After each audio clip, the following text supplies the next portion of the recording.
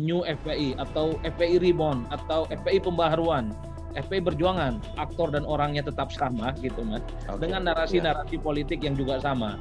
Kalau pemimpinnya ada lagi, ya sama aja. Nanti dia akan hmm. baru, gampang sekali dia digerakkan. Letupan politiknya juga uh, begitu besar dalam arti menjadi perhatian, mengganti nama dan lain sebagainya. Ya kita lihat saja nanti seperti apa.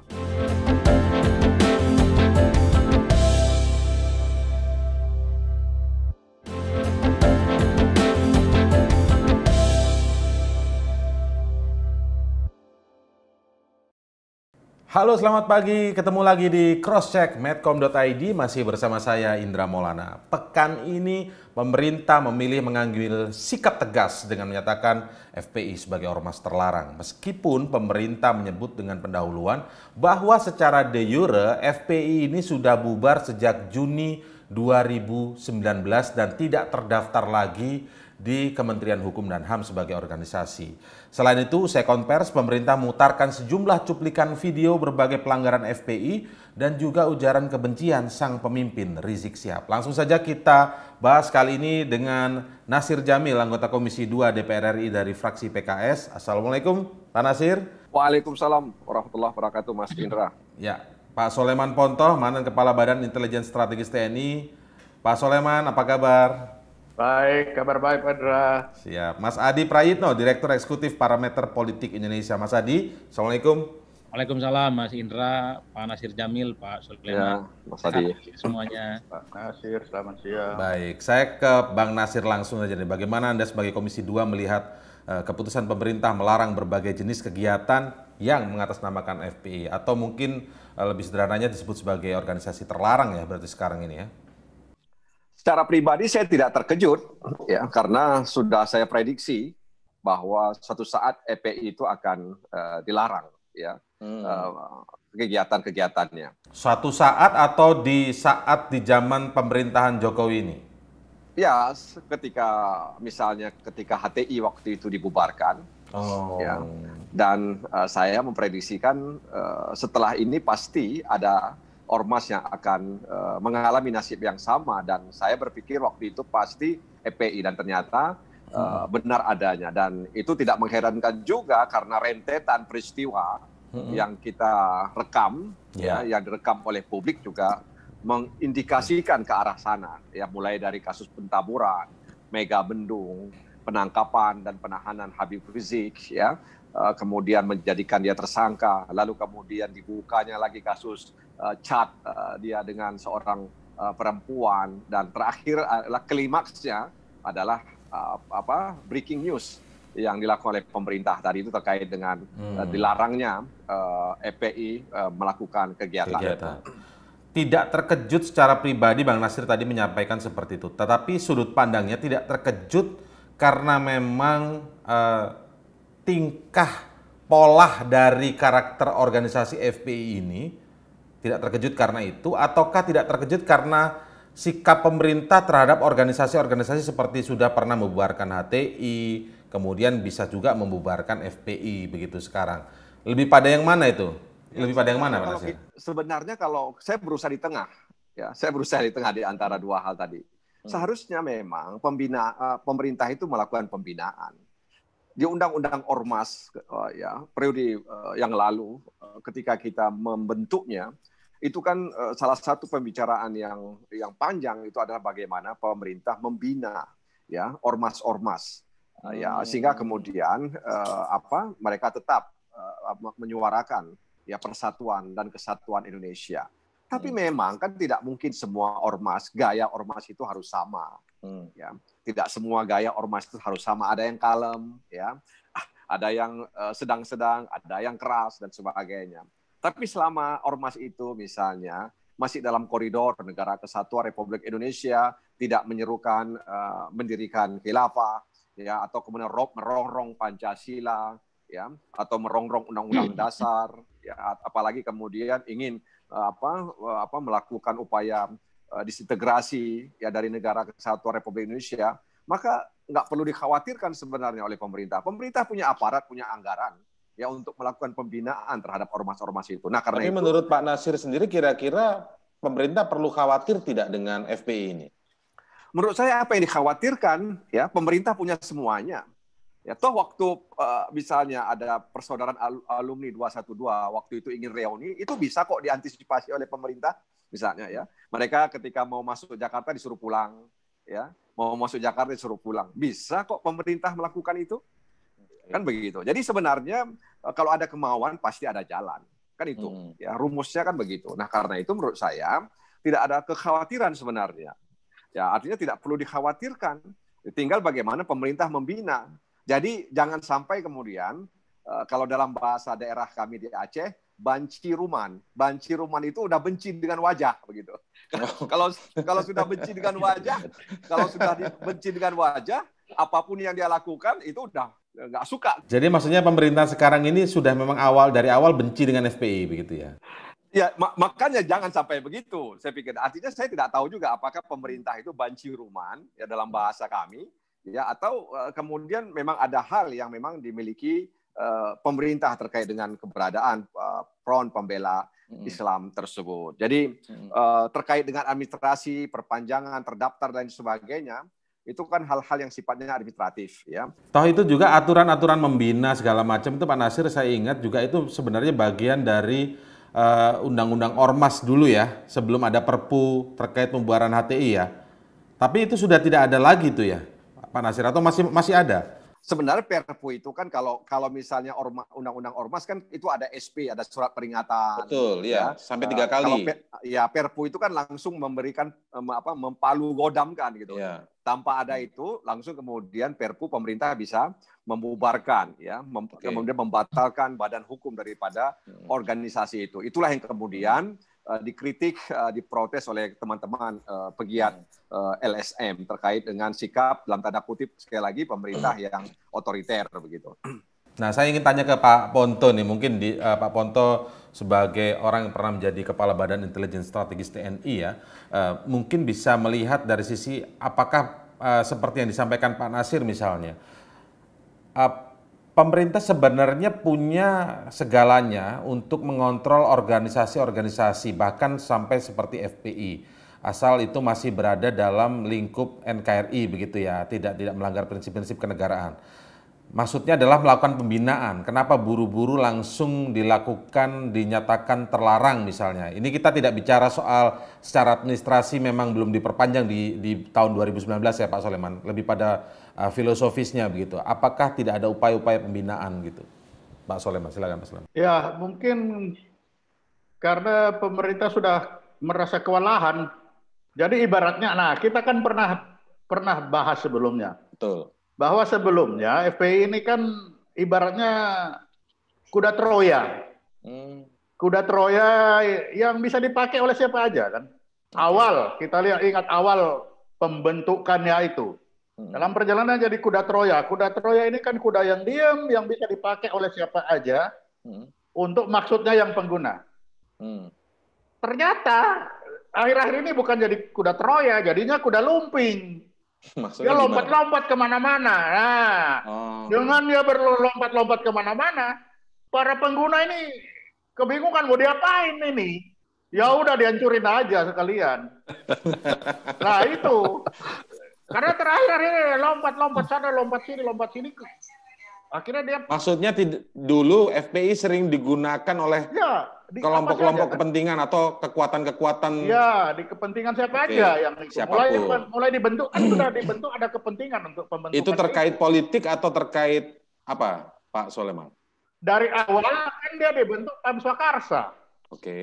setelah Pam Swakarsa berjalan ke sini sudah mulai masuk ke politik kan oke okay. karena de dengan adanya one man one vote ya hmm. ini bisa dimanfaatkan lumbung suara. Oke, kan artinya ada yang memanfaatkan untuk kepentingan politik.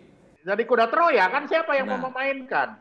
Oke, nah sekarang disebut Pak Soleman tadi menjadi kuda lumping itu maksudnya apakah dia sekarang bermain sendiri tidak ada yang menunggangi? Ya, terlihat kan dia bermain sendiri, jadi kuda lumping lompat sendiri, lompat sana. Oke. Nah, sehingga semua ini kebingungan ini, ini siapa? daripada tidak terkendali udah aja sekalian kudanya. Hmm, hmm. Ya, kan Coba kalau dari awal awal awal itu mungkin kan dalam berapa bulan tahun itu sudah diem kan dia diem, tidak ada ini. Mm -hmm. Tapi terakhir ini kan betul-betul akhirnya jadi ramai sekali ya itu lompat sana lompat sini jadi Bagaimana ujaran segala macam. Nah, Karena itu. mungkin nggak ada pecahan kaca, Pak Sulaiman. Nah, ya itu dia. Karena itu akhirnya ya sudah. Pecahan kaca ini maksudnya apa nih? Biaya, uang ini berarti. Iya, daripada pusing, iya. udahlah kudanya kita rusain aja sekalian biar tidak ada yang make, bikin kuda baru kalaupun ada. Oh, gitu. Ya, ya kan ya, itu aja daripada sepertinya seperti begitu. Makanya kan saya tulis itu antara FPI, intelijen, makar, dan KUHP. Okay. Ada tulisan saya situ kan hmm. saya bikin. Hmm. Perkiraan saya itu si kudanya tidak dirusain, hmm. tapi yang pengendali yang bikin kuda ini lompat-lompat ini mulai dibakar satu makar, makar dua, makar tiga. Nah lama-lama kan diam ini udah aman hmm. udah. Hmm. Tapi kira hanya sampai di situ akan akan dipakai pasal-pasal makar lebih dahulu hmm. untuk beberapa orang. Oke. Okay. Saja yang yang bisa diterapkan dengan pasal makar. Makanya saya bikin tulisan itu.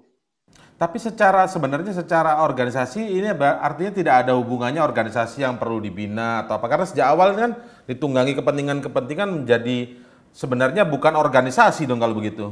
Pembinaannya bagaimana pembinaannya itu? Kalau dari awal ada pembinaan supaya tetap tentunya dia tidak akan jadi kuda lumping kalau pembinaannya benar. Oke. Nah, tapi karena pembinaannya tidak ada, kena kemenyan dia lompat-lompat lah dia. Hmm. Ya kan ini yang terjadi.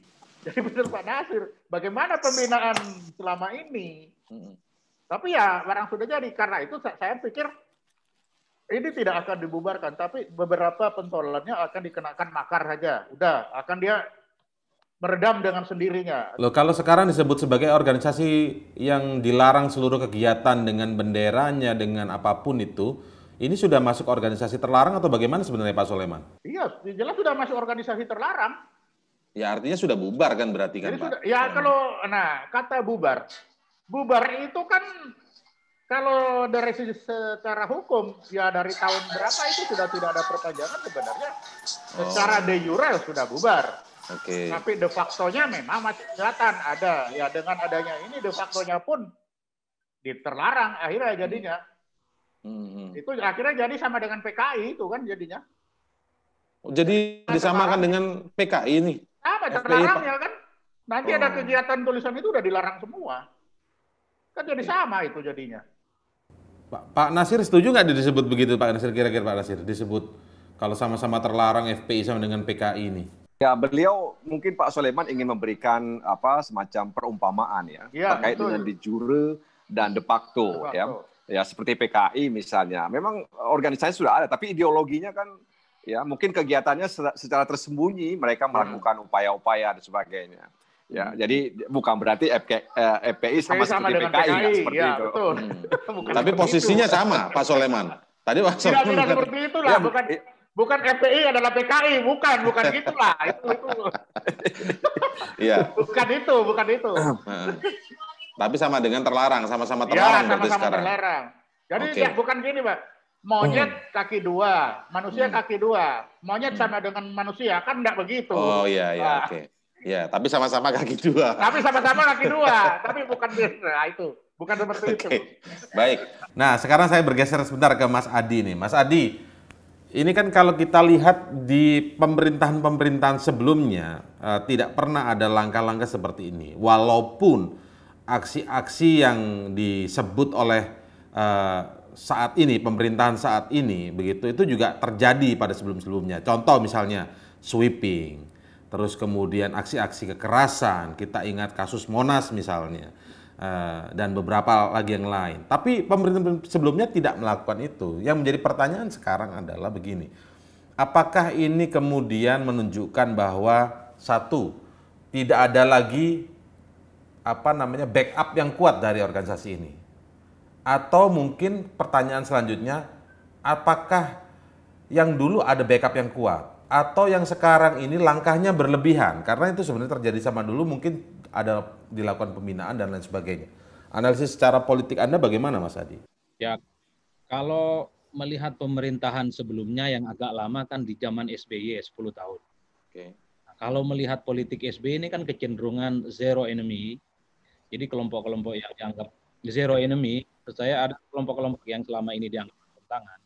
Bahkan konfrontatif siapa pun itu sering kali diajak berdiskusi, negosiasi dan lain-lain. FPI di zaman SBY juga sering kan melakukan sweeping terutama di bulan puasa. Okay. Tapi langkah-langkah mereka sepertinya cukup bisa diukur oleh negara. Jadi daya rusaknya ya cuman segitu-gitu aja. Nah kalau di zaman sekarang, sama di era Jokowi, saya kira tidak menganut madhab zero enemy. Jadi kelompok-kelompok yang dianggap meresahkan, radikal, dan seterusnya ya digebuk. Karena narasi politik kebangsaan, pola-pola persuasi bukannya tidak pernah dilakukan. Seingat saya Pak Ustadz Nasir Jamil, sering kali pemerintah mengimbau untuk mengajak FPI ini narasi keagamannya agak ke tengah, narasi politiknya nggak boleh lagi mengkafir-kafirkan dan memurtad-murtadkan gitu ya. Kan gara-gara pemilu jumlah umat Islam bukan 85 persen lagi, bisa saja tinggal 50 persen karena dimurtadkan oleh teman-teman FPI. Itu itu harus dibaca juga secara utuh bahwa agresif itu bukan hanya tentang bagaimana dia men-sweeping, statement-statementnya bukan, tapi ada agresivitas verbal. Pernyataan-pernyataan yang suka mengkafir-kafirkan, memurtad memurtadkan orang itu dalam banyak hal juga tidak membuat masyarakat nyaman, terutama kelompok-kelompok Islam yang relatif agak abangan gitu ya.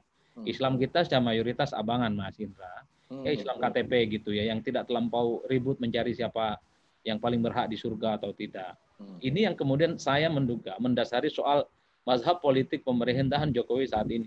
Memang tidak pernah memberikan ruang sedikit pun kepada kelompok-kelompok ormas yang relatif meresahkan radikal yang kemudian sudah tidak bisa diajak bernegosiasi.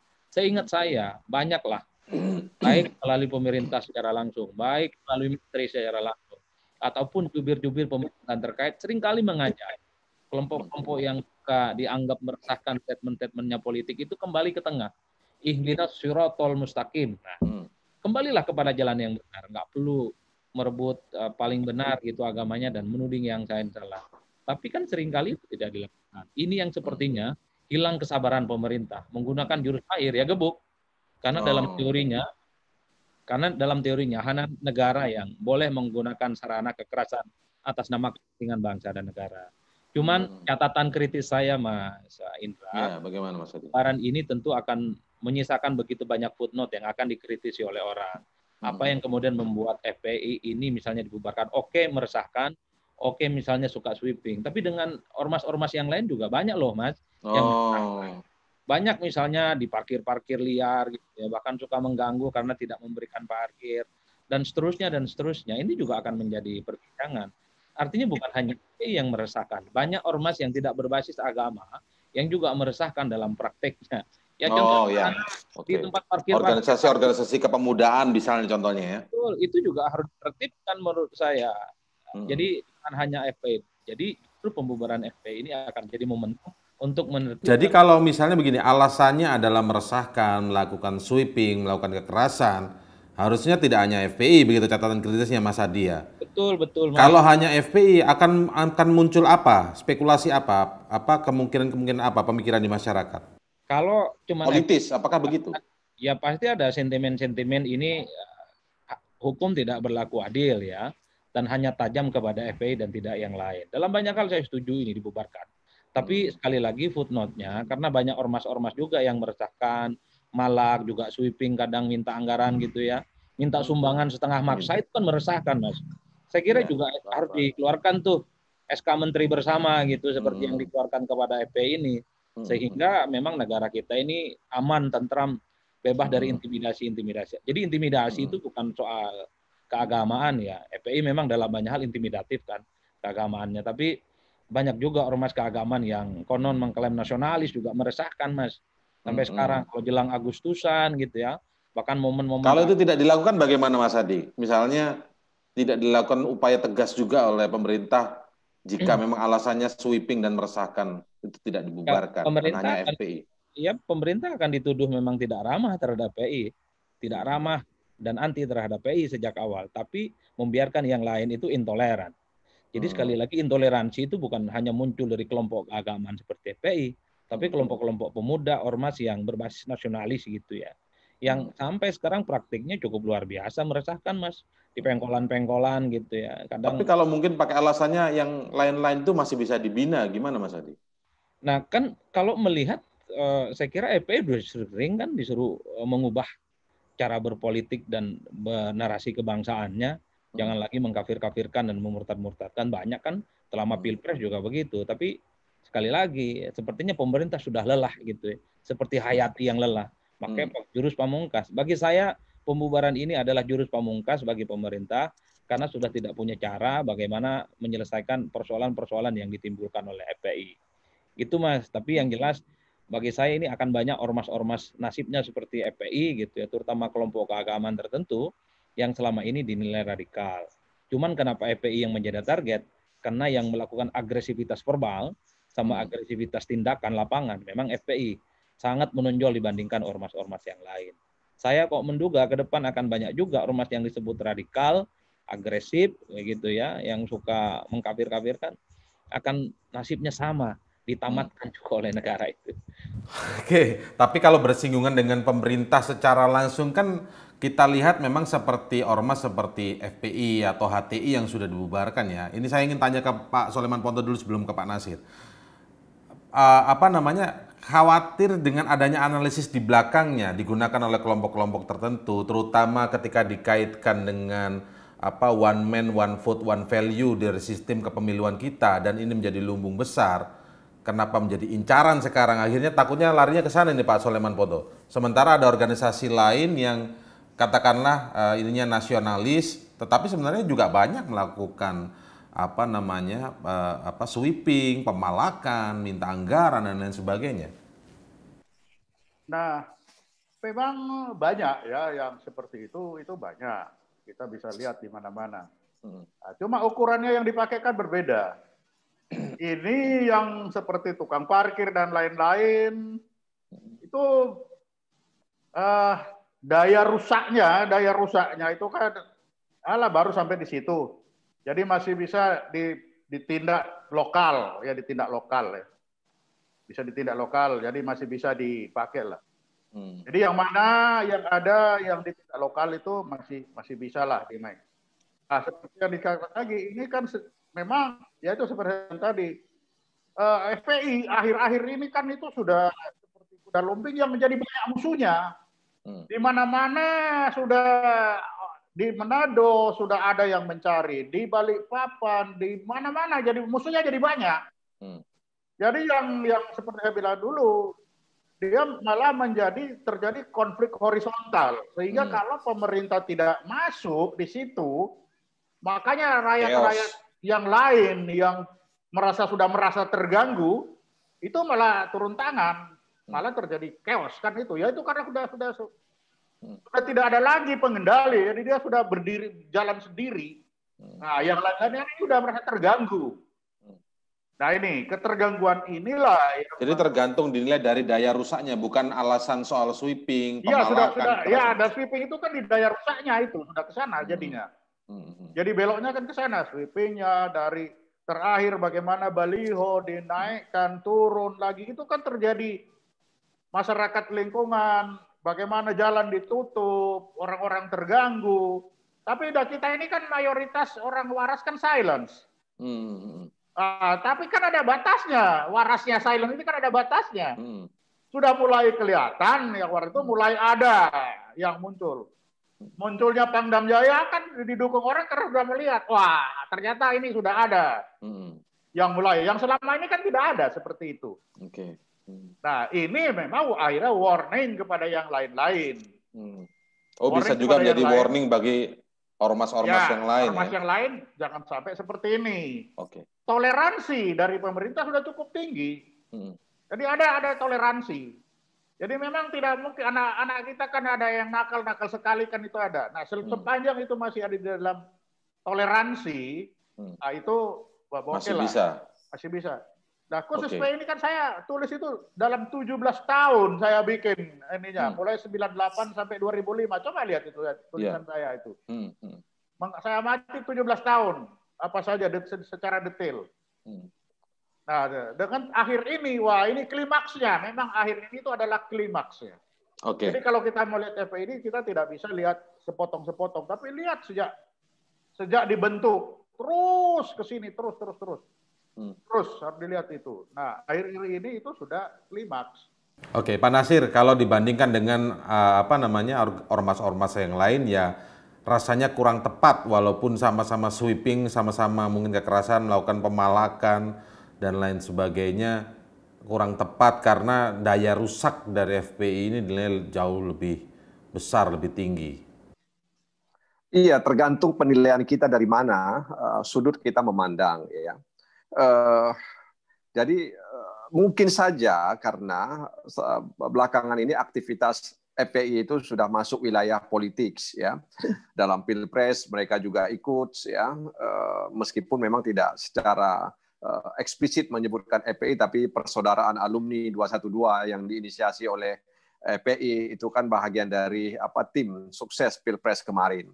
Ya dalam pilkada misalnya DKI Jakarta juga ya kan kan ini dua momen yang paling penting di negeri ini. Eh, dan kemudian pidato-pidato ya pidato-pidato yang eh, ceramah-ceramah yang disampaikan oleh Habib Rizik yang dinilai oleh pemerintah itu merongrong NKRI dan Pancasila. Tapi kalau hmm. kita lihat keterangan pemerintah terlarang itu kan karena tidak terdaftar. Hmm. Ya, karena tidak terdaftar, ya. Uh, tidak disebut uh, menurut saya di situ bahwa mereka, uh, FPI merongrong Pancasila ingin memisahkan diri dari negara kesatuan Republik Indonesia karena oh. tidak terdaftar secara undang-undang. Secara undang-undang, menurut aturan undang-undang, de jure-nya memang dia udah nggak ada, ya nggak ada. Oh, okay. Jadi eh, seperti OTB, organisasi tanpa bentuk kira-kira secara de jure, ya uh, nah, OTB, ya hmm. organisasi tanpa uh, secara de jure. Tapi secara faktu kan tentu eh, nggak bisa dihalang-halangi, ya bisa hmm. saja dia. Jadi maksudnya dalam hal ini terlarang itu menurut pengertian dari Pak Nasir Jamil adalah uh, karena memang tidak terdaftar. Iya, itu sebabnya kemudian dilarang uh, kegiatan-kegiatannya. Uh, uh, yang yang atas. Tapi berbeda dengan maksud organisasi terlarang seperti organisasi-organisasi lain ya. Ya kalau yang itu kan ada yang diatur dalam konstitusi, ada dalam, dalam konstitusi, tap MPR kan hmm. udah jelas ya. Jadi jadi menurut saya di sini yang kalau saya baca dari keterangan pemerintah karena dia sudah tidak terper, uh, tidak ter, uh, diperpanjang hmm. ya sejak Juni 2019. Nah, harapan kita kepada organisasi-organisasi masyarakat yang sama yang tidak di, uh, yang tidak uh, diperpanjang daftarnya juga dilakukan hal yang sama. Walaupun hmm. sekali lagi tanpa dibilang sama pemerintah juga sebenarnya dia sudah uh, sudah tidak tidak uh, tidak berorganisasi lagi, tidak punya bentuk lagi. Saya pikir keterangan pemerintah itu ingin menyampaikan kepada masyarakat karena hmm. ada konsekuensi hukumnya. Hmm. Ya kalau dia menggunakan atribut ya, atribut ya, kemudian karena organisasi itu nggak terdaftar gitu, lebih pada itu. Bukan daripada ideologi atau apa prinsip-prinsip yang dilanggar saya tidak mendengar itu, saya tidak mendengar ya. uh, itu dari pemerintah. Pemerintah ya. tadi ya. Dari tidak, ya. Beda dengan HTI.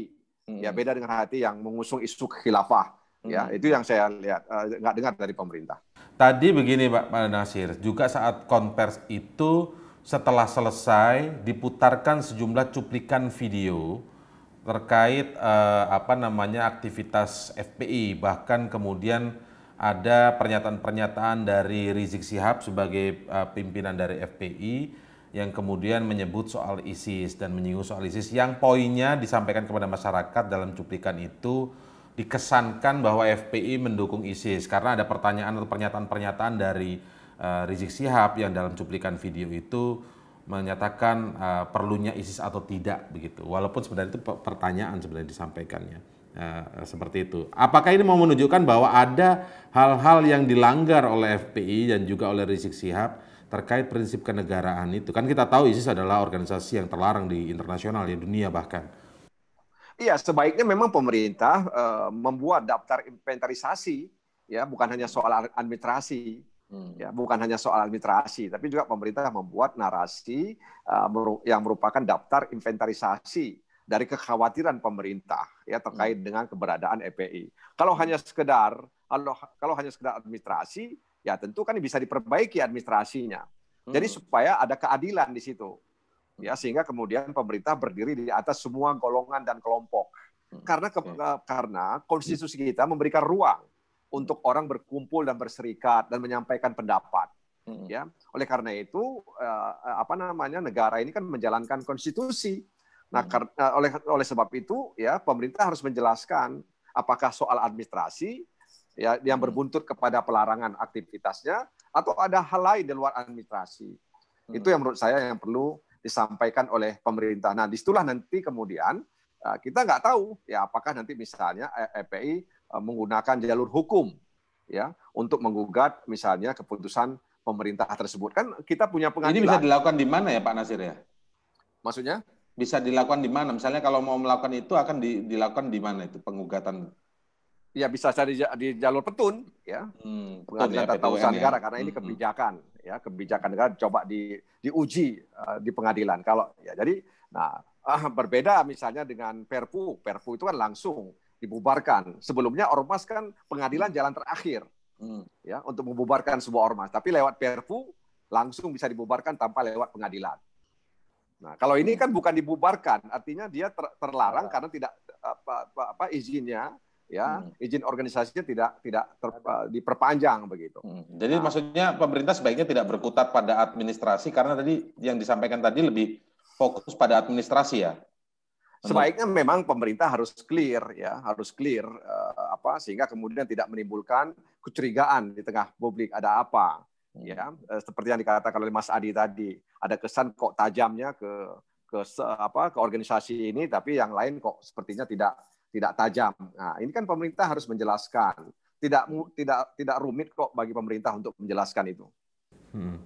Mas Adi tapi tadi memang uh, lebih pada berkutat administrasi saja atau sebenarnya juga disampaikan hal-hal yang sangat prinsip begitu? Kenapa FPI ini menjadi dilarang kegiatannya? Tadi sih memang uh, ditekankan berkali-kali ya, ada beberapa kali yang saya dengar dari konvers tadi itu bahwa sebenarnya secara de jure FPI ini sudah tidak diperpanjang atau tidak terdaftar lagi semenjak Juni 2019.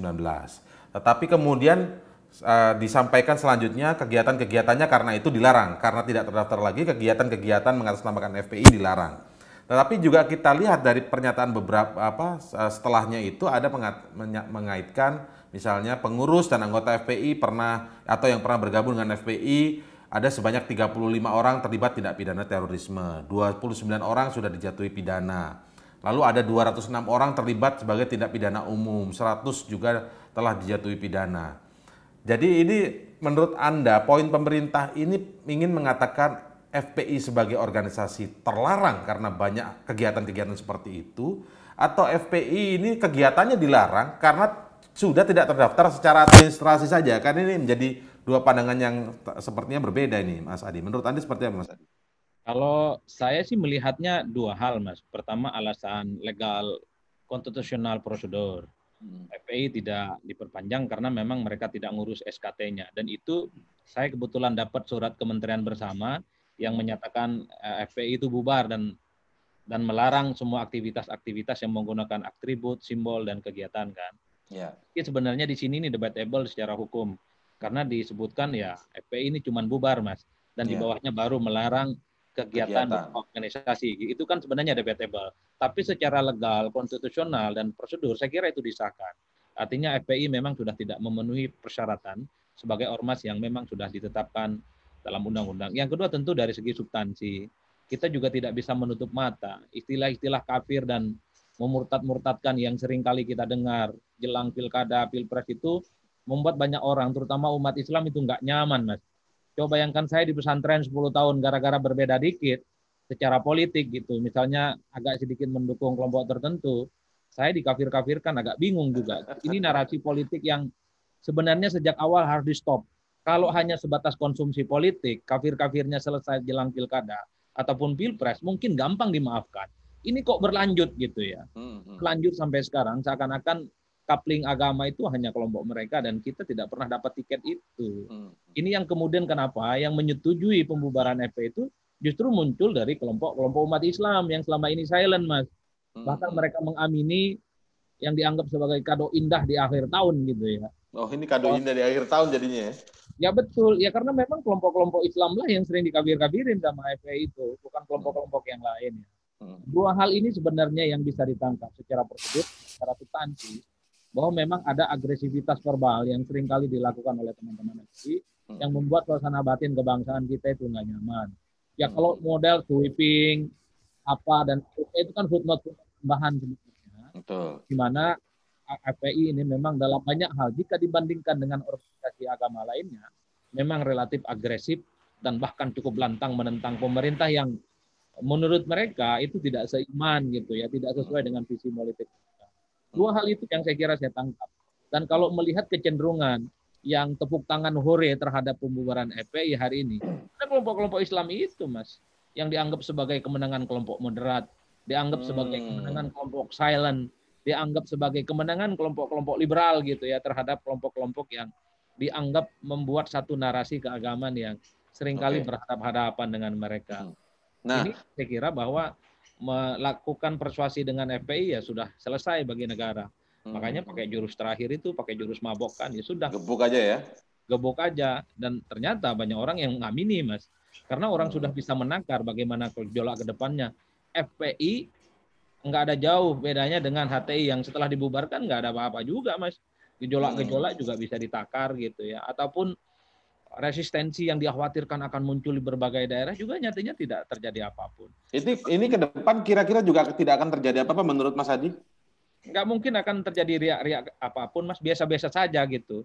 Karena hmm. polisi sudah kelanjur pasang badan gitu ya terhadap pihak-pihak yang selama ini extraordinary dianggap memprovokasi untuk segera ditindak kumpul, organisasi, digebuk, udah selesai.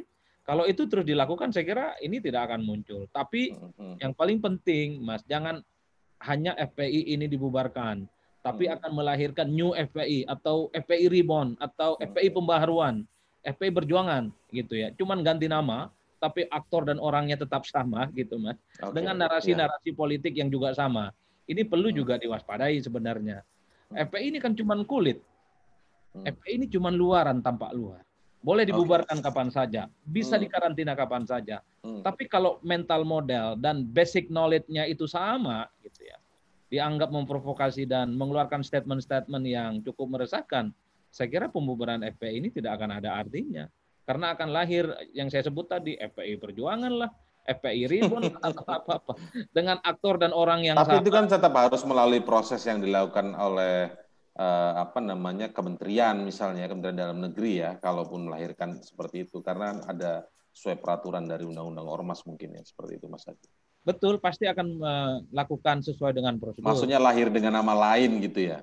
Betul dan itu sangat mungkin bisa terjadi karena aktor dan tokoh-tokohnya juga tidak terjadi apa-apa sampai Percuma dong kalau gitu Pak Soleman, kira-kira Pak Soleman bagaimana menurut Anda? Kalau hanyalah uh, menutup sebuah aliran uh, sebuah organisasi kemudian bisa berganti nama?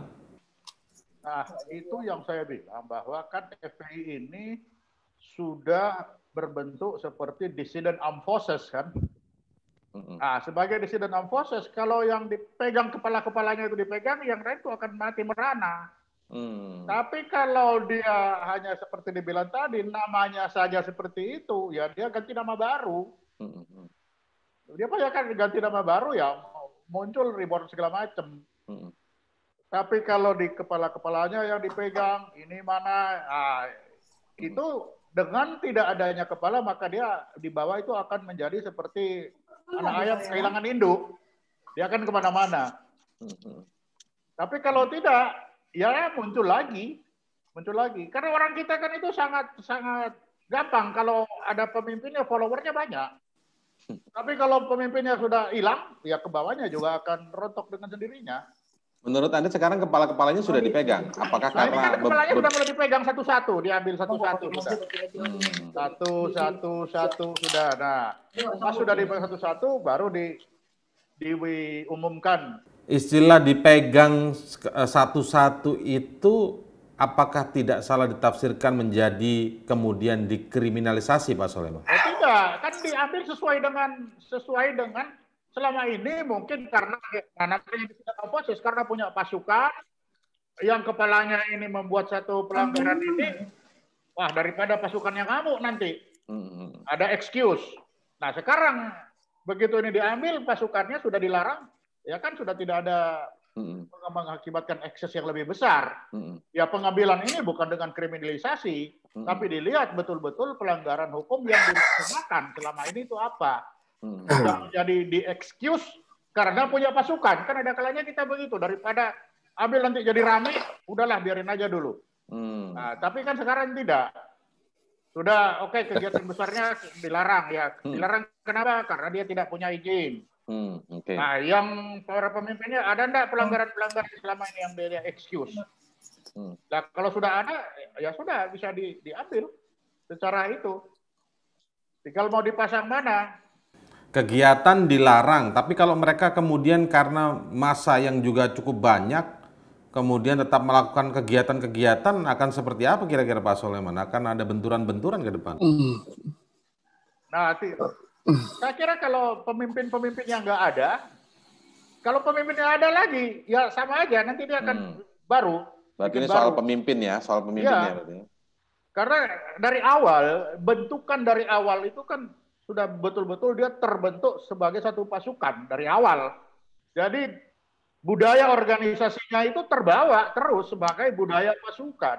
Karena dari awal memang itu dibentuknya. Sehingga untuk membubarkan pasukan ya para komandannya yang harus diambil dulu, baru ke bawahnya akan hilang. Okay. Karena budayanya lain. Ini budaya dari awal, pembentukan awalnya itu udah beda. Yeah. Pembentukan awal kan dia sudah Pamswakarsa, sudah lain. Hmm. Itu. Oh, dari awal dibentuknya sampai ya. sekarang berjalannya itu jauh melenceng begitu maksudnya? Dari awal dibentuk budayanya kan sudah budaya pasukan dia. Oh, budaya pasukan, oke. Okay. Budaya pasukan sudah. Hmm. Jadi penghormatan ke atas, bagaimana komando atas ke bawah itu itu terbentuk selama ini. Makanya gampang sekali dia digerakkan, gampang hmm. sekali dia bekerja bersama-sama. Hmm. Karena memang budayanya adalah budaya pasukan. Dissident okay. forces itu. Inilah yang membuat perbedaan FPI dengan organisasi yang lain. Oh. Karena organisasi yang lain itu budaya pasukan tidak ada. Hmm, hmm. Dia betul-betul organisasi massa yang tidak punya cohesion force yang benar, hmm. tidak punya pemimpin yang jelas. Oh. Tapi untuk FPI kan beda. Hmm. Karena dari awal memang dibentuk seperti itu Pertimbangan pertimbangan ini yang menjadi kemudian perlu pemerintah khawatir begitu ya Pak Soleman? Ya, karena itu, karena dia bisa digerakkan untuk apa saja. Baik, itu baik. saya bilang, dia udah jadi kuda Troya yang hmm. Yang bisa dipakai oleh siapa aja. Karena memang dibentuk dari awal untuk itu. Beda kalau yang lain-lain yang tidak dibentuk seperti pasukan, hanya terbentuk karena ada tujuan bersama itu lain. Tapi ya. ini kan dibentuk, memang dibentuk pasukan. Oke. Dan ini bertahun-tahun terpelihara kan itu. Oke, Bang Nasir, ini tanya juga mungkin dari rekan uh, di DPR begitu ya. Kalau menurut Fadlizon ini adalah sebuah pelarangan organisasi tanpa proses pengadilan adalah praktik otoritarianisme. Kemudian juga Pak Habibur Rahman dalam keterangannya kepada wartawan yang menyampaikan mempertanyakan apakah pembubaran FPI ini sudah dilakukan sesuai mekanisme Undang-Undang Ormas, khususnya pasal 61, yang harus melalui proses peringatan tertulis, penghentian kegiatan, dan pencabutan status badan hukum. Kalau Pak Nasir sendiri memandangnya seperti apa? Ini karena sudah mulai muncul dimunculkan narasi otoritarianisme. Begini Mas Indra, kalau saya membaca keterangan pemerintah di media, ya media online khususnya, itu kan disebutkan menyatakan ya EPI adalah organisasi yang tidak terdaftar sebagai ormas sebagaimana yang diatur dalam undang-undang. Sehingga secara de jure telah bubar sebagai ormas. Jadi bukan pemerintah membubarkan EPI dalam kalau saya lihat saya mau objektif ya, saya mau objektif ya. Saya tidak ingin subjektif. Ya, ya. ya. Jadi sebenarnya kalau menurut keterangan pemerintah dan memang SKT itu tidak diperbaharui sejak hmm. Juni 2019 artinya kan uh, apa namanya tidak ingin memperpanjang daftar itu. Nah, makanya saya katakan tadi pemerintah juga harus bersikap adil kalau ada organisasi yang sama, ya misalnya tidak melakukan hal yang sama, misalnya tidak memperpanjang dan lain sebagainya itu satu. Hmm. Yang kedua, ya karena uh, apa namanya karena uh, letupan politiknya juga uh, begitu besar dalam arti menjadi perhatian kalau tidak menjadi perhatian, nggak mungkin dong Mas Indra mau tampilkan uh, topik ini dalam cross check kita, ya kan? Nah, perlu iya. ada perlu ada penjelasan, ya. Hmm. Kenapa mereka tidak memperpanjang? Apakah memang mereka ada diperpanjang atau tidak? Kan ya hmm. pemerintah harus transparan dan akuntabel. Setiap kebijakan-kebijakan pemerintah itu bisa diukur ya lewat transparansi dan akuntabel sehingga hmm. kemudian menenangkan semua warga sehingga pemerintah ya memang punya tugas melindungi rakyat Indonesia. Bisa saja misalnya pemerintah ya punya tujuan untuk melindungi segenap bangsa Indonesia. Ya. Hmm. Nah, oleh karena itu saya pikir ya, ya secara jelas ini jadi pemerintah tidak punya narasi-narasi lain bahwa tadi hmm. kemudian Mas Indra bilang uh, ada cuplikan-cuplikan ya hmm. narasi hmm. dan lain sebagainya. Yeah. Saya pikir itu kan pertanggungjawaban kalau pidana pribadi hmm. ya. Bukan bukan bukan anggota FPI aja yang terlibat dalam jaringan terorisme. Okay. Bahkan uh, oknum-oknum TNI juga ada yang disertir ya, oknum polisi juga ada yang disertir. Lalu apa bisa kita bilang polisi mengajarkan terorisme? Oh, ya. okay. Radikalisme kan begitu. Kan ada kan Sopian Asuri misalnya hmm. ya. Ya, yang pernah muncul, kemudian ada juga tentara-tentara yang disertir ya. Nah, waktu konflik di Aceh ya, konflik bersenjata uh, di Aceh antara gerakan Aceh mereka dengan uh, pemerintah, ada juga tentara-tentara ya uh, dari organisasi uh, kesatuan tertentu itu yang disertir. Ya, lalu apakah kita katakan bahwa seperti yang Mas Indra sampaikan tadi gitu hmm, kira-kira. Hmm. Jadi uh, perbuatan pidana itu pertanggungjawaban pribadi. Ya. Hmm. Nah, kalau misalnya ada uh, organisasi wartawan, ya, organisasi pers, ada wartawannya kemudian cenderung dengan radikalisme dan sebagainya. Hmm. Lalu apa kemudian uh, kita memblame organisasi pers itu juga Eh, sama perilakunya seperti oknum wartawan tadi kan tidak seperti itu. Nah, hmm. jadi oleh karena itu saya sih mengacu aja kepada apa yang disampaikan oleh pemerintah bahwa secara de jure memang ya ormasnya memang sudah bubar sejak 2019. Oh, bahwa hmm. mereka kemudian uh, mengganti nama dan lain sebagainya, ya kita lihat saja nanti seperti apa. Tapi memang hmm. kebebasan berserikat, kebebasan berkumpul itu dijamin oleh konstitusi. Tapi yang paling penting sebenarnya Mas Indra, hmm. tugas di antara banyak tugas negara ini, pemerintah ini adalah melakukan sosialisasi politik dalam rangka mewujudkan apa yang disebut dengan nation building. Hmm. Ya, jadi state building sudah dilakukan oleh para pendahulu kita. Nah, tugas ini sekarang kita building. adalah nation building. Bagaimana ya dalam konteks dalam konteks ormas seperti FPI ini seperti apa nation building ini? Nah makanya makanya saya kadang-kadang apa kok bisa pemerintah kewalahan menghadapi saya kadang-kadang bingung gitu loh. Kok bisa dalam tanda kutip pemerintah kalah gitu ya. Pemerintah kewalahan ya. Eh, begitu banyak ya cendikiawan, begitu banyak eh, intelektual ya yang bisa menarasikan soal kebangsaan. Mengkanter ini dan lain sebagainya ya. Eh, tetapi tapi kita nggak tahu apakah itu sudah dilakukan oleh pemerintah. Tidak hanya cukup kemudian eh, menyampaikan di media ya. Hmm. ya meminta kepada misalnya Habib Rizik FPI supaya begini supaya begitu. Ya sebaiknya memang ya kita duduk bersama dalam hmm. rangka menjaga persatuan dan kesatuan bangsa. Hmm. kita duduk bersama diingatkan dan sebagainya. Secara organisasi ya Kementerian Dalam Negeri bisa mengingatkan kalau memang ada tindakan-tindakan yang melanggar ya ada oh. surat eh, peringatan satu peringatan dua ya kan peringatan yeah. tiga kemudian disanksi administrasi dan lain hmm. sebagainya jadi ada mekanismenya ada sebenarnya dalam undang-undang okay. ormas tersebut oke okay. tapi Mas Adi semudah itukah kira-kira seperti yang disampaikan Pak Nasir maksudnya begini kalau berbicara ansih ormasnya mungkin iya, tetapi kan banyak juga cerita-cerita di belakang eh, belum tentu tahu ke, belum tentu kita tahu juga kebenarannya ya. Tapi ini berkembang terus menerus bahwa kemudian dikaitkan pernyataan Pak Soleman ini juga ada yang menunggangi, ada yang menggunakan kepentingan politik, kekuasaan-kekuasaan politik. Mungkinkah yang disampaikan Pak Nasir semudah itu melakukan pembinaan negara nggak mungkin kalah? Nah kalau di belakangnya backupnya juga bagian dari kekuasaan entah itu siapa orangnya atau siapa pihaknya, ini kan menjadi rumit juga, Mas Adi. Bicara tentang FP ini kan memang agak rumit. Ah, kita juga agak sukar untuk melihat sebenarnya siapa penunggang tunggal yang kemudian uh, bisa menjadikan FPI itu sebagai instrumen politik. Hmm. Tapi sekali lagi kita tidak bisa menutup mata bahwa di Pilpres 2019 lalu FPI sudah menjadi alat politik. Jelas kok dakwah politiknya dukung Prabowo dan mendukung partai politik yang dianggap seiman sekufu amar ma'ruf nahi mungkarnya. Hmm. Jelas itu fatsun-fatsun politiknya. Ini yang kemudian orang melihat FPI ini sudah tidak seperti yang dulu yang memang ihdinas sirotol mustaqimnya itu untuk kepentingan isu keagamaan tertentu saja, tapi dia adalah menjadi bagian dari satu gitu ya influencer dan tim kemenangan kelompok tertentu yang kemudian bisa dikapitalisasi dianggap mendulang suara. Dan bahkan dalam pilkada 2020 ini juga sering kita melihat poster-poster dan baliho-baliho yang sering kali menyatakan uh, eh, FPI itu mendukung salah satu kandidat dekat dengan ulama dan semacamnya, ya. Di situlah ya yang saya kira bahwa sejak awal memang FPI ini satu memang cukup dekat dengan kelompok-kelompok masyarakat, oknum, partai politik yang anti terhadap kekuasaan, anti hmm. terhadap pemerintah dan anti terhadap Jokowi. Kita tidak bisa menutup mata itu. Dan sekali lagi, karena suasana batin kebangsaan FPI ini memang berseberangan dengan dengan pemerintah, sehebat apa pun langkah-langkah persuasi yang dilakukan, saya kira akan hmm. mental dan mentok. Jadi ini jadinya deadlock hmm. sehingga mereka ini terpaksa dibubarkan. Kan begitu ceritanya.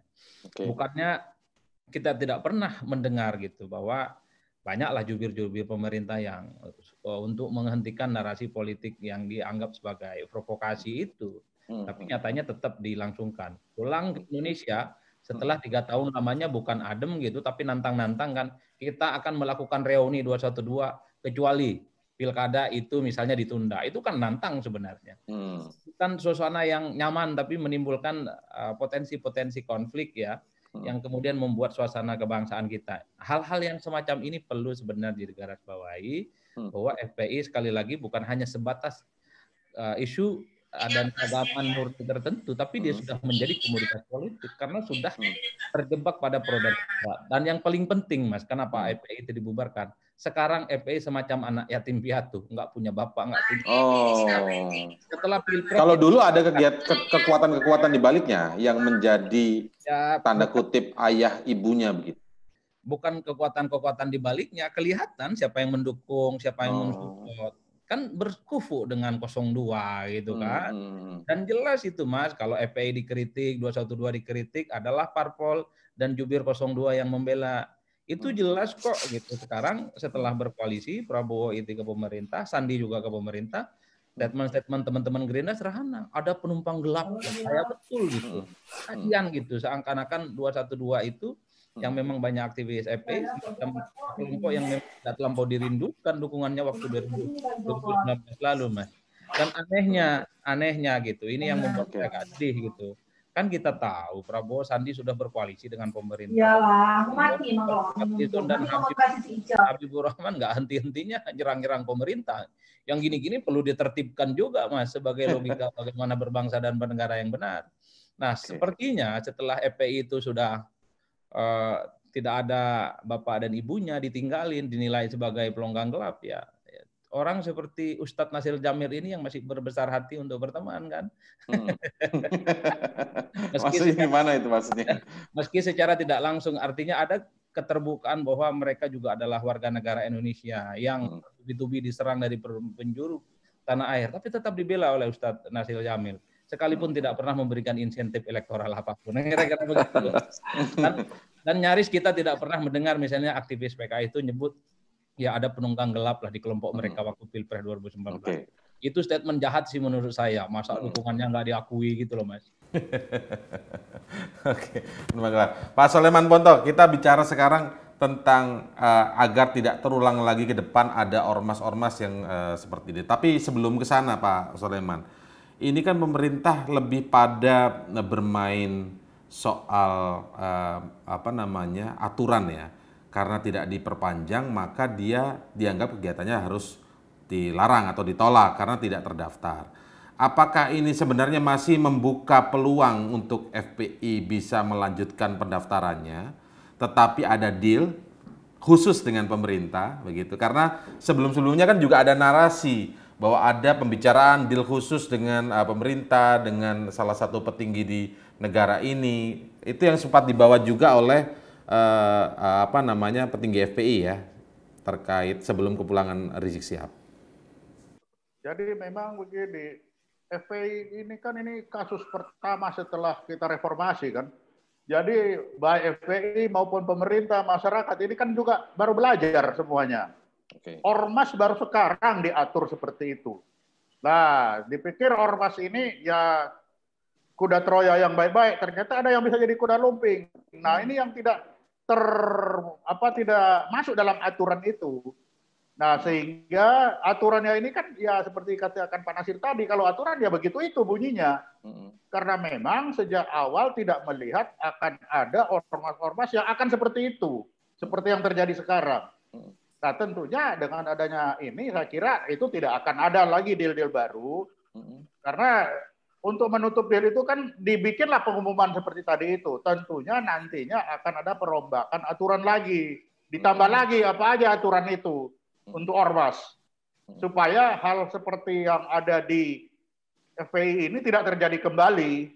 Oke. Karena kita kan belum ada pengalaman. Ini baru pertama kali terjadi. Bagaimana di, di alam kebebasan ini. Hmm. Nah, sehingga kalau HTI ada, beda lagi ya. Bagaimana? Kalau yang soal pembubaran HTI beda lagi nih. Kan itu kan aturan HTI semua kan pakai aturan-aturan yang sudah ada ini kan aturan yang ada dimainkan. Oke. Okay. Nah, ternyata HTI kan kelakuannya beda dengan FPI ini kan beda. Mm-hmm. Agresifnya tadi disampaikan kan itu beda. Mm-hmm. Nah, ini yang tidak masuk di dalam aturan-aturan yang ada itu. Tadi Pak Nasir bilang kalau aturan ya begini, ya betul. Jadi memang aturannya itu baru sampai di situ. Hmm. Tapi perbuatannya ini di luar aturan. Terus hmm. bagaimana di luar aturan itu? Aturannya belum ada. Yeah. Kan kan itu yang jadinya. Nah, dia dilarang karena aturannya eh, tidak punya lagi, tidak memperpanjang atau tidak diizinkan perpanjangan. Hmm. Nah, kenapa tidak diizinkan perpanjangan? Itulah yang dipertanyakan. Kenapa sih nggak diizinkan? Ya mungkin ya karena yang apa yang terjadi sekarang itu tambah tidak diizinkan lagi dan aturannya mungkin akan diatur lagi supaya bisa berlaku semua. Hmm, Kalau ini memang ya ya pantas memang karena kita juga baru belajar. Jadi baru... intinya kesimpulan ini bahwa sebenarnya pemerintah ini bukan disebut membubarkan, bukan menyatakan sebagai organisasi tapi tidak memperpanjang Memang surat. sudah tidak kan sudah tidak ada dari dulu. Ya, ya, tapi ya. kegiatannya ini ditekankan eh kamu kegiatannya ini ilegal. Hmm. Karena sudah tidak ada itu. Organisasinya sudah, sudah tidak ada begitu ya? Iya sudah tidak ada. Hmm, hmm. Sudah tidak ada barang itu. Hmm. Kalau nah, disebut ada, ini, ya silakan Pak Nasir. Ya jadi kan ada aturan. Ormas itu kan punya aturan mendaftar, ya. ya. Jadi walaupun secara konstitusi orang bebas berserikat berkumpul, tapi kan diatur cara mereka berserikat dan mereka berkumpul. Nah ormas ada aturan mainnya, ya hmm. terdaftar. Nah karena tadi sudah tidak perpanjang daftarnya, ya hmm. secara de maka dia bubar, ya kan? Nah kalau bubar, pemerintah meminta dilarang menggunakan ya, kegiatan itu untuk tidak terjadi hal-hal yang tidak diinginkan. Hmm. Jadi kalau tadi Mas Adi Praetno bilang saya membela, secara pribadi sebenarnya juga banyak hal yang saya tidak sependapat dengan ucapan-ucapan Habib Rizik, ya, ya hmm. langkah-langkahnya. Tapi sebagai anggota DPR, sebagai parlemen, saya kan perlu juga mengkritisi hmm. kebijakan-kebijakan pemerintah agar ke depan. Jadi berusaha objektif ini ya, Mas Pak Nasir ya. Iya, fungsi ya fungsi pengawasan pembinaan itu harus lebih hmm. maksimal lagi.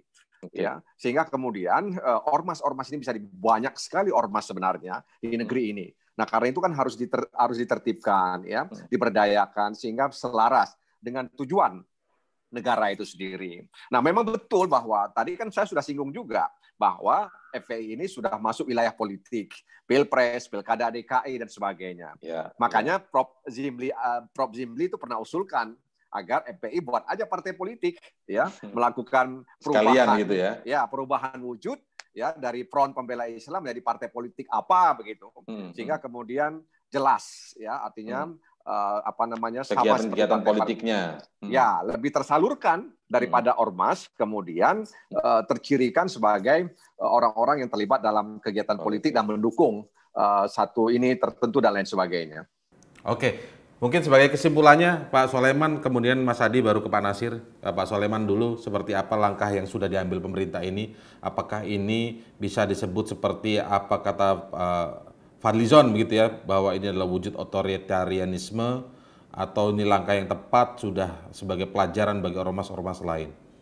Saya kira ini langkah tepat untuk ormas lain.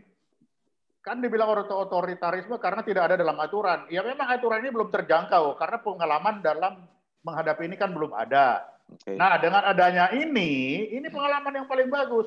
Jadi ini adalah hal yang bagus, pengalaman baru bagi kita Hmm. Jangan seperti itu. Dan ini di kemudian hari taruhlah di dalam aturan supaya tidak terjadi okay. pembubaran tidak terjadi lagi. Tapi orang-orang ini ormas-ormas itu akan mengatur dirinya taat patuh dan taat kepada aturan.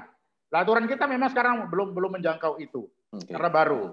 Jadi ini saya kira sudah tepat itu untuk memberikan contoh, untuk membuat menjadi dasar peraturan baru ke depan supaya masuk dalam aturan supaya hal seperti ini tidak terjadi lagi. Oke, Mas Adi silakan Mas Adi. Ya kalau dalam Islam itu mesti ada mau idah hasanahnya ini, ada lesson hmm. learn-nya. Jadi ormas-ormas di Indonesia bukan hanya atas nama keserikatan apa kebebasan berkumpul dan berpendapat, tapi yang jelas mereka itu harus sesuai dengan konstruk bangunan kebangsaan kita, hmm. baik secara prosedur ataupun secara substansi. Kalau melihat surat bersama kementerian yang kemudian ini menyatakan membubarkan FPI itu karena kan FPI memang tidak memenuhi unsur-unsur persyaratan itu, hmm. itu artinya tanpa dibubarkan sekalipun FPI ini sudah membubarkan iya. diri secara legal formal. Jadi jangan ada tuduhan bahwa negara ini juga membubarkan tidak Mahfud Tapi MD. SKB SKB Menteri itu buat apa kalau memang FPI-nya sendiri sudah bubar dengan sendirinya? Untuk menegaskan bahwa semua aktivitas FPI itu ya ilegal, terlarang karena mereka sudah tidak ada namanya oh. di Kemenkumham, di delete secara otomatis. Jangankan FPI Mas, saya kuliah kalau lebih dari 14 semester, nama saya udah langsung hilang. Yeah, yeah. kampus yang jahat, tapi karena saya nggak benar gitu secara yeah. Itu okay. penting. Hmm. Jadi biar publik juga tahu bahwa FPI dianggap bubar itu bukan dibubarkan oleh negara, hmm. tapi membubarkan diri SKT-nya tidak dipenuhi sesuai hmm. standar prosedur yang ada. Berarti yang bukan langkah tegas pemerintah dong kalau begitu? Iya, sebenarnya pemerintah ini hanya menegaskan atas ketidakpatuhan persyaratan yang diminta itu atas FPI. Hmm. Kan ditunggu sejak lama 2019 tidak diperpanjang, hmm. 2020 SKT-nya dianggap tidak memenuhi gitu ya. Hmm karena sudah de, apa deadline nggak selesai ya dinyatakan bubar. Iya, tapi ya, masih melakukan kegiatan. Tanpa ada pengumuman sekalipun, hmm. organisasi itu sudah bubar secara prosedur. Okay. Bahwa mereka sedang berorganisasi berkumpul sih, oh nggak ada persoalan. Makanya kemudian ada pelarangan tentang kegiatan, atribut dan lain-lain. Hmm. Yang kedua yang paling penting adalah sekeras apa pun perbedaan politik kita, jangan sampai kita itu mengkafir-kafirkan dan memurtad-murtadkan orang lain. Mas Ini pengalaman Mas Adi pribadi kayaknya. Bukan soal begitu. itu. Karena pada prinsipnya politik itu adalah bagaimana cara memperoleh kekuasaan, jadi ya. menteri, jadi menhan, betul, jadi betul. menteri. Iya, bukan soal jalan masuk surga. Kalau begini ceritanya, apa gunanya dulu ayat-ayat itu dibawa ke jalanan, perang-perangan pakai yeah. ayat kanan kiri. Perang Ending, badar segala macam ya. Perang badar. Endingnya nggak ada apa-apa mas, dibubarin begini kemudian nggak ada yang bela gimana? Iya. Yeah. Oke. Okay. Ini menjadi pelajaran penting bahwa boleh berserikat, boleh berkumpul, tapi jangan memprovokasi secara verbal. Oke. Okay. Pak Nasir, silakan Pak Nasir. Ya, dari apa yang kita diskusikan tadi dalam pandangan saya memang uh, spekulasi publik seolah-olah pemerintah itu banci ruman kan tidak terbukti ya bahwa memang ternyata mereka tidak memperpanjang dan otomatis maka hmm. organisasinya bubar. Okay. Dan kedua saya pikir uh, kita harus menyeimbangkan uh, agama dan negara. Hmm. Jadi organisasi-organisasi masyarakat yang bercorak keagamaan juga harus uh, apa namanya bersinergi dan berkolaborasi dengan tujuan negara.